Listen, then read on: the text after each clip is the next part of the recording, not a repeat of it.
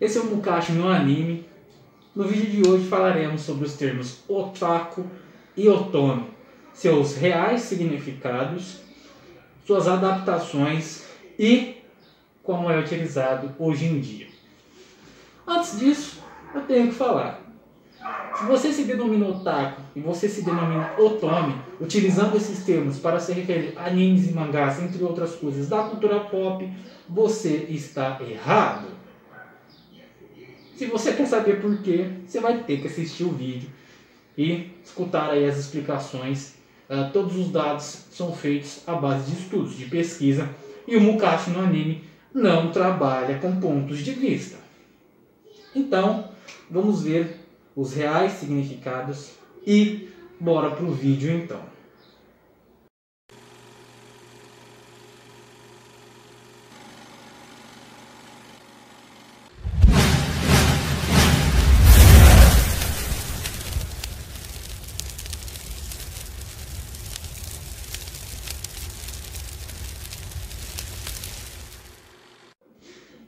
Começando pelo termo otome, significa donzela, garota virgem, moça virgem, delicada, senhorita e termos próximos disso. Então, otome quer dizer garota, moça virgem, referente às meninas aí dos 12 aos 20 anos. Mas, claro, uma mulher também mais velha pode se denominar otome ou otaku, né? Isso no nosso contexto atual do significado. Fica ficando claro esse ponto. Bom, o que ninguém fala de fato, começando aí a falar pelo termo otome, o que ninguém fala é que otome não tem nada a ver com a cultura pop, no que diz respeito a animes, mangás, games, cosplay ou cosplay, não importa, não tem nada a ver. Por quê? Uma vez que o significado da palavra quer dizer donzela, moça, jovem, garota, senhorita, moça pura, virgem, o que, que isso tem a ver com anime?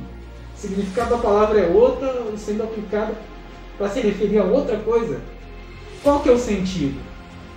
Não tem sentido. E para piorar ainda, o termo otome, que seria o feminino de otaku, que não tem nada a ver, porque otaku é um termo unissex, ele não tem gênero é atribuído ao masculino e ao feminino, ou qualquer tipo de pessoa, qualquer tipo de classe, uma vez que ele é um termo unissex, novamente falando, otome não deveria existir. E já que ele existe, ele não faz sentido. Porque é unissex. Então, para para pensar. Já está errado desde o princípio. Né? Então ninguém fala isso. Otome também seria uma versão coloquial, né? uma adaptação alternativa para se referir também ao gênero shoujo, que por sua vez também está errado. Né? Uma vez que shoujo, shoujo, né? ou shoujo, como alguns falam. Então essas derivações, adaptações feitas de maneira errada, imprecisas, incorretas, são ferem um pouco os reais sentidos das palavras, dos termos e criam novos gêneros, subgêneros e formas de se referir, que, em termos livres, está errado. Como você vai utilizar uma palavra que tem um significado, aplicando ela a outra coisa totalmente diferente? Então o termo otaku ele já está errado desde o princípio, né? E aí muitos fãs da cultura pop, continuando então, muitos fãs dizem que o termo otome surgiu por conta da rua chamada Otome Road, né? Que se localiza lá em Tóquio, onde muitas garotas, muitas mulheres vão até lá, né? Uma vez que nessa rua é, são vendidos diversos conteúdos de animes e mangás do gênero yaoi, né? Então, sabendo desse fato, que nessa rua, lá em Tóquio, chamado Tom Road, uh, tem essa procura né, das mulheres em relação aos animes, aos quadrinhos uh, do gênero, do gênero de yaoi, Aí eu te pergunto, se o real significado de outono quer dizer donzela, moça pura, virgem, senhorita, né? sendo um termo aplicado, é, tendo um significado de bom sentido, né? uma garota jovem, pura, legal, né? digamos assim, o que, que isso tem a ver? O que, que o, o termo otome, né? que é um termo legal, bonito, moça jovem, moça virgem pura, o que, esse termo tem a ver com o yaoi? Uma vez que esse gênero yaoi é, conta, né, fala de relações sexuais entre homens. O que isso tem a ver? A gente não está falando aqui de, de preconceito, porque isso é assim, porque aquele é daquele jeito. Não, não tem nada a ver com isso. Estou deixando claro aqui, no do anime está deixando claro, que o significado da palavra e ao que ela é atribuído atualmente não tem nada a ver uma coisa com a outra. E o que tem de puro em Otome, colocando em relação ao Yaoi, que é a relação sexual entre homem e mulher, o que tem de puro nisso? Qual, qual que é a relação disso? O que, que, tem a ver uma coisa com a outra? Não tem nada a ver a aplicação do termo significado. Né? Eu não quero nem imaginar o que, que o criador do shoujo pensaria disso. O que, que, que o Osamu Tezuka ia falar disso? Poxa vida, coitado da princesa e o cavaleiro, cara. Não.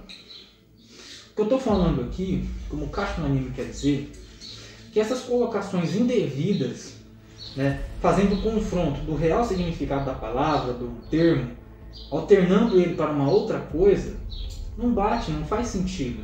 A gente está utilizando uma palavra que já tem um significado, né, que já é uma coisa específica, criando uma outra coisa que não tem nada a ver, criando um subgênero, uma subcategoria. Isso não existe. Isso não existe. Otome não tem nada a ver com a cultura pop. Como eu já disse, né? Como eu falei, Otome vem ser o feminino de otaku, mas não existe feminino para não tem unissex. Então já está errado desde o começo. E Otome é atribuído aos animes ou mangás por conta dessa rua lá em Tóquio, essa Otome Road, onde tem essa incidência de procura de yaoi, de yaoi pelas mulheres. Então uma coisa não tem nada a ver com a outra, são só referências, colocações que, que foram sendo trazidas para um contexto atual, atual, atual, fazendo adaptações, relações e tal. E hoje atualmente é atribuído dessa forma. Né? Otome é mulher que gosta de animes e mangás e quadrinhos, entre outras coisas da cultura pop, do Japão. Não tem nada a ver uma coisa com a outra. Né? Então, atualmente ele tem um significado, porém a palavra também tem o um real significado dela, o primeiro significado dela, digamos assim. Então, são adaptações, são termos que vêm se criando variantes para ser o que é hoje. Ainda assim, o termo, a palavra tem o seu próprio significado, o seu real significado, que já é desprezado. Então, está errado na aplicação do termo, está errado uh, nas subcategorias que criam disso, né? Esse termo tome e também de otaku. E está errado de novo porque faz relação de uma palavra, de uma palavra que quer dizer pura, bonita, né? Otome, uma moça virgem, nova, com relações sexuais entre dois homens. O que tem de puro nisso? Como eu falei anteriormente, então uma coisa não tem nada a ver com a outra. Por isso que misturar as palavras, misturar esses termos não faz sentido não é uma coisa bacana. Né? E são termos pejorativos. Né? O termo real é o tato, o seria a variante feminina. Então ambos são termos pejorativos. Você pode falar isso de um modo legal ou de um modo ruim. Né? O modo legal seria na segunda pessoa. Eu vou explicar isso agora. Bora lá. Antes de explicar o termo otaku, queremos deixar bem claro. Nessa referência feita entre otome e o seu significado e yaoi e a sua representação, né, o que ele representa, não queremos deixar que isso fique como um preconceito, como uma ideia negativa. O que quer ser passado aqui, através do Mukashi no anime, é a ideia de relação entre duas coisas que não tem significado algum um com o outro. Né? Não tem nada a ver uma coisa com a outra. Isso que é um fato. Uma vez que eu tomo, já sabemos o que significa, e a Oi também sabemos o que significa. Então, o que isso teria de puro, levando o termo otome ao pé da letra, que seria mulher, donzela, moça, inocente, garota, né? senhorita? O que esse termo, entre aspas, puro, teria de relação com o gênero yaoi? Uma vez que Otome foi criado por conta desse gênero, né? yaoi, fazendo referência à rua lá em Tóquio, né? chamada Otome Road, onde tem uma incidência muito grande é, de procura é, do gênero yaoi pelas mulheres. Daí se cria uma relação, uma referência. Mas o que uma coisa tem a ver com a outra de fato? Bom, sinceramente não tem nada a ver. São adaptações, como eu falei, foram sendo uh, utilizadas, utilizadas, utilizadas e reutilizadas até chegar no contexto atual. Como eu acho no anime, não tem nenhum preconceito com qualquer tipo de gênero, categoria ou subcategoria. Uma vez que o Kashi no anime trabalha com fatos, trabalha com a história. Né? E qualquer tipo de conteúdo a gente vai estudar. Pode ser os gêneros de hentai, uh, gêneros históricos que tem a ver com algum conteúdo ou que tem alguma referência, a gente vai citar, a gente vai falar. Sabendo-se então, fazendo classificações para cada vídeo, para cada tipo de assunto, com as classificações indicativas, né? Lógico, é obrigatório fazer isso. Então, então, dito isso, nós queremos deixar bem claro e fazendo essas comparações é para que você pense em como você se refere, em como você aplica um termo ou uma palavra. Tá? Então não quero que uma pessoa pense, ah, ele falou assim, peraí, ele não gosta disso, no fulano. Não, não tem nada a ver. Mukashi no anime não trabalha com gostos ou com pontos de vista, trabalha com fatos história. Dito isso, vamos continuar o vídeo então para o termo otaku agora. Agora o termo otaku. Otaku, seu real significado, significado original do termo, né, seria uma forma respeitosa, né, na segunda pessoa, se referindo à casa, né, ao lar de uma pessoa ou família. Ideograma né, kanji, sozinho, taco, taku, significa casa, literalmente, significa casa. Com o passar do tempo, né, uh, esse termo, esse significado, ele passou a ser utilizado de maneira negativa. Né? Uh, isso porque existiam já nesse período muitas pessoas que passavam muitas horas dentro de casa assistindo vendo mangás, jogando videogame, entre outras coisas. Então daí é o ponto inicial onde vai surgir esse gênero.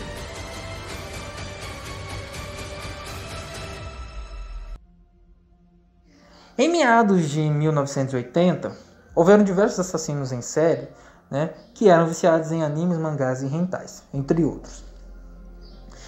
E alguns destes tentavam até mesmo reproduzir cenas que viam nesses animes e desenhos né, em seus crimes. Então, a partir desse ponto, o termo passou a ser negativo. Né? Ele já era um termo pejorativo, já tinha aquela, aquela certa. Será que é isso? Será que é aquilo?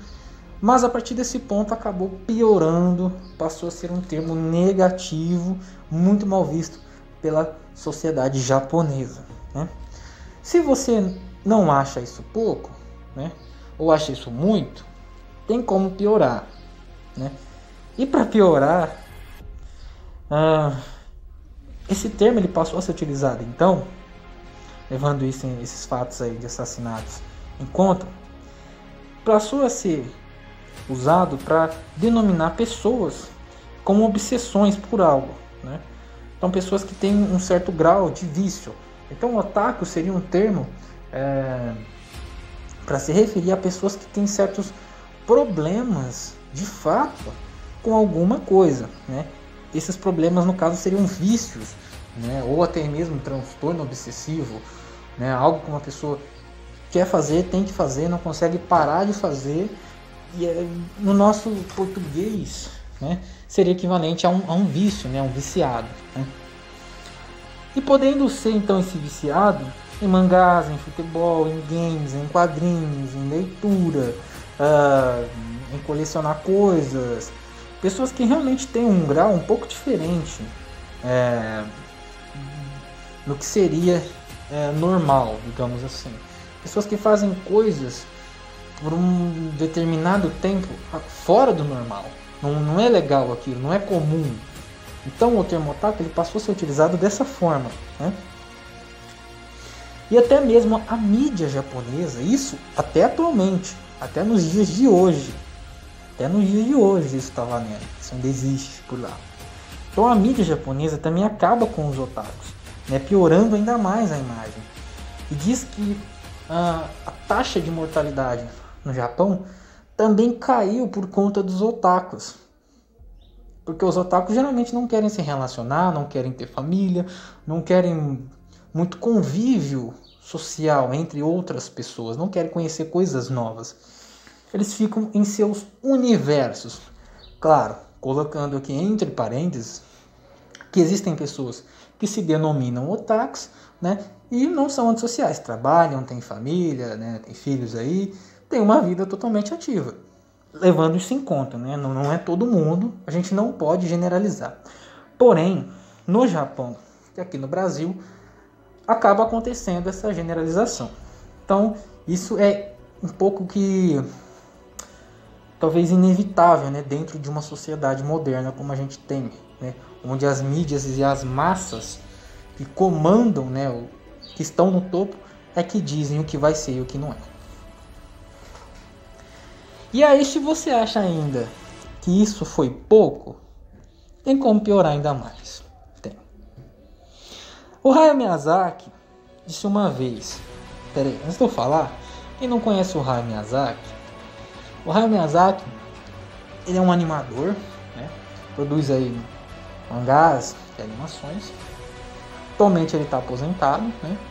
mas ele produziu diversas obras, ele contribuiu para a indústria da animação moderna, né?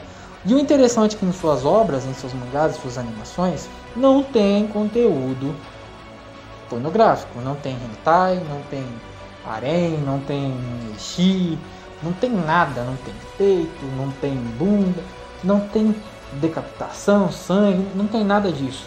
Ele consegue criar, cativar você com mangás, com animações, com outro tipo de temática, uma temática própria dele, um estilo próprio dele, né? Diferente, legal, consegue te cativar. Eu mesmo tenho diversas obras dele aqui, eu gosto de assistir, gosto de ver. Então ele é um importante nome, ele é dito um dos pais das animações modernas, né? Um dos influenciadores aí depois do Osamu Tezuka. Então continuando, o Hayao Miyazaki aí, para piorar a situação dos otakus, ele disse aí numa entrevista, né? Ele diz o seguinte, Hayao Miyazaki, vamos lá. Quase toda a animação japonesa é produzida sem nenhuma base da observação né, de pessoas, né? Então as animações atualmente no Japão, isso é um fato, não estão sendo produzidas de modo a qual se observa os seres humanos de verdade, né? Conversar, interações, para você poder produzir, ter ideias, ter pontos de vista, trazer uma realidade. É isso que ele diz. Então, quase toda a animação japonesa é produzida sem nenhuma base da observação de pessoas de verdade. É produzido por humanos que não suportam outros humanos. É o que ele diz aqui. As animações são produzidas por humanos que não suportam outros humanos. E é por isso que a indústria está cheia de otakus. Então, voltando lá. O que, que são esses otakus? Como a gente falou, otakus são pessoas que demandam um tempo além do normal, fazendo alguma coisa. E muitas pessoas também que entram dessa, dentro dessa classificação de otaku não suportam outras pessoas. Isso é verdade, são antissociais. Claro, como a gente colocou entre parênteses lá atrás, não é todo mundo que é otaku ou que gosta de coisas do Japão que não tem vida, né? Muitos trabalham, tem famílias e tudo mais. Então, dessa maneira que o Hamiyazaki falou aqui, foi totalmente negativa. Não foi um elogio isso aqui, né? Isso aqui, essa entrevista que aconteceu do Hayao Miyazaki, ele estava se referindo, né, claro, diretamente à indústria moderna de animação do Japão, né? E essa declaração ela saiu na Golden News, né? Mas acabou virando uma bagunça, né? Com reviravoltas e mudanças ali no texto e blá blá blá. Então a Rocket News 24 e a News News Network, né? também estão envolvidas aí em relação a, a esse post aí, essas falas do Hayao Miyazaki. Então essa fala do Hayao Miyazaki também veio a piorar ainda mais, né, o termo otaku, ainda que ele esteja se referindo à indústria de produção, né, não aos fãs, mas ainda assim vem para piorar ainda mais, né, já que o Hayao Miyazaki, querendo ou não, né, quem gosta dele ou não, tem um nome de peso, tem um nome de importância dentro da história da animação, para quem conhece né, um pouquinho disso aí. Voltando ao tema, o tema otaku aí então. Sabendo que os otakus são antissociais ou possuem problemas para se relacionar, claro, como a gente falou, existem pessoas que têm famílias, né? Não podemos generalizar. Ah, também uma fama aí dos otakus, que a gente vê muito, principalmente no Facebook, é, alguns assuntos no YouTube também, bem maquiado, né, para não tomar strike, páginas e blogs também que falam sobre isso, é a fama dos otakus, né, em relação aos conteúdos pornográficos, né, quadrinhos, mangás, jogos e entre outros, né, também envolvendo aí as lolis, né, e diversos outros assuntos dentro do mesmo. E esse tipo de, de ocorrência é muito comum no Japão também. Dentro do próprio Japão isso é muito comum. Então, também já relacionado aos otakus, né, esse quesito de muita hentai, muita coisa errada, muita pornografia, entre outras coisas. Isso também lá no Japão é, é para piorar ainda mais o termo otaku. Né? Já não era legal, piorou, ficou ruim e agora está pior ainda. Aqui no Brasil também acontece muito isso. Tem muito disso no Facebook. Postam imagens lá sem nem, sem nem mais nem menos. Né? Apesar de que cada um tem sua conta, posta o que quer, né? Seu cadastro, você posta o que você quiser. Mas depois, né, não reclame né, do termo otaku aí ser uma coisa ruim. Você está utilizando aí achando que é uma coisa legal. Então isso, essas coisas vêm agravando, né? Muitas pessoas falam para os filhos, ó, oh, você não vai assistir anime, você não vai assistir essas coisas do Japão, porque só tem hentai, só tem pornografia. Isso acaba com a imagem da indústria da animação. Não só da indústria da animação, mas também como do, Japão, né? Cria um olhar negativo. Por isso que isso também entra como uma piora nesse olhar, nesse preconceito que já se tem no Brasil e em outros lugares. Né? Porque essa referência não é só aqui, essa referência negativa. É em todo mundo. Né? Então o termo otaku, ele significa, ou passou a significar, uh, pessoas que gostam de coisas do Japão. Né? Mas também né, em um contexto realista, o que de fato seria o seu significado, quer dizer que você é uma pessoa viciada, você tem um problema, né? Então você pode ser um otaku de qualquer coisa, mas, né? Uh, você tem que ter uma dosagem, tem que saber fazer as coisas que você faz, seus animes, seus jogos, enfim, o que você gosta de fazer, mas tudo tem um limite. Então, se você faz essas coisas de uma maneira excessiva, né, que passa do normal, muitas pessoas chamam até de toque, transtorno obsessivo compulsivo, pode ter certeza que você vai ser chamado de viciado. Eu sou otaku, mas não é otaku no sentido legal. Pô, eu sou otaku, oh, legal, você gosta de coisa do Japão. Não, você é otaku, são viciados, você tem problema, vai se tratar. Muitas pessoas vão ter esse olhar aqui no Brasil. Por isso que existe esse preconceito. Então, seria interessante mudar um pouco é, o modo com qual é divulgado as animações, os mangás, as escritas. Às vezes o cara põe uma foto de um hentai lá, começa a falar um monte de abobrinha, não sabe nem o que é hentai, não sabe nem o que é anime, de onde que veio, e acaba piorando né, o perfil que já não está bom. Né? E existem pessoas que trabalham para melhorar isso, né? que postam conteúdo legal, querem uma melhora. E essas pessoas, essa escória acaba atrapalhando esse trabalho, né? Mas não colocando isso em pauta aqui no Mukashi. Otaku então é um vício em alguma coisa, onde você coloca isso na frente da sua vida, dos seus afazeres. Que aqui no Brasil, em muitos lugares, o otaku quem gosta de coisas do Japão. Esse é o real significado do otaku aqui no Brasil. Quem gosta de coisas do Japão. Otome, a mesma coisa. Só que para mulheres. Não mulheres que gostam de coisas do Japão. A conclusão, então. O termo otome, sendo bem direto, ele não existe. Né? Ele é como o feminino de, de otaku. Né? Isso foi uma invenção, uma adaptação, né? feita aí em cima do principal, que seria otaku, que é um único termo para homens e para mulheres. Então o termo otome não existe, uma vez que ele tem outro significado, como a gente já viu aqui, já falou. E otaku é um termo negativo, né? É um termo ruim, né? Relacionados a assassinatos, a pessoas é, problemáticas, antissociais e entre outros. Infelizmente, vai ocorrer a generaliza generalização aqui no Brasil e também em outros lugares. Esse olhar negativo sempre vai existir, a não ser que tenha uma mudança dentro do meio. Mas, né, isso só o tempo dirá. Então, otaku, otaku é um termo negativo, né, ainda assim comum e também adaptado para o universo dos animes, do mangá da cultura japonesa.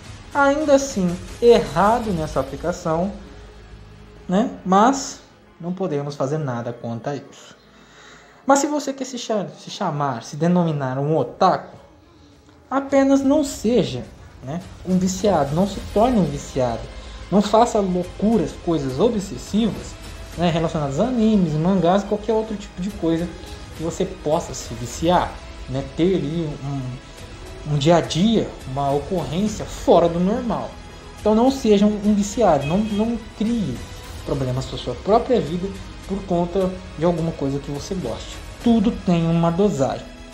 Então seja consciente, faça o que você gosta, mas viva, trabalhe, estude faça o que você gosta de fazer. Tudo com um certo controle. Então essa é a verdade sobre o termo otaku, né? dito, dito de modo direto e grosso. Né? Gostando ou não, esses são os fatos. Se você duvida de alguma coisa que foi dito aqui, existem links aí na descrição. Pode clicar, pode abrir, pode pesquisar, pode estudar. Fique à vontade. Se você gostou, Uh, legal, se você não gostou, uh, legal também, mas infelizmente nós temos que ser imparciais em relação a esses assuntos. Né? Uma vez que Mukashi no anime não trabalha com pontos de vista, e sim com fatos. Que é o Mukashi no anime e até mais.